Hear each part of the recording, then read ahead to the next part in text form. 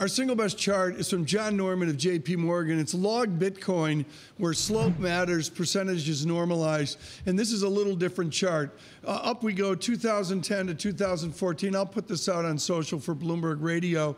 And the blue circle is where John Normand stopped traffic and published on Bitcoin long ago and far away in 2014. Mr. Normand joins us on our set in New York this morning, usually in London with JP Morgan.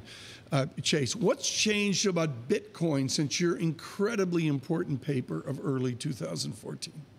Probably the only thing that's changed is its popularity. My view on it in 2014 when I wrote on it is that it was essentially a, a retail novelty, not something that institutional clients or corporates uh, should become involved with, and there are lots of reasons for this. I just never thought it would really attain scale because it's a currency uh, that no government backs. And that's really the essential quality in, in becoming a, a, widely used means of, of transactions. But there, were, there are always enough retail clients, libertarians, right. even criminals who want to become involved in it that you see it quite popular. I don't want to get you in trouble with the different parts of JP Morgan that are doing cryptocurrency stuff, and of course also Mr. Dimon's acclaimed comments. But retail novelty is maybe a comfortable way of saying Ponzi. I have said out on Facebook Live, I don't think it's a Ponzi scheme because that implies a criminal activity within the currency up front.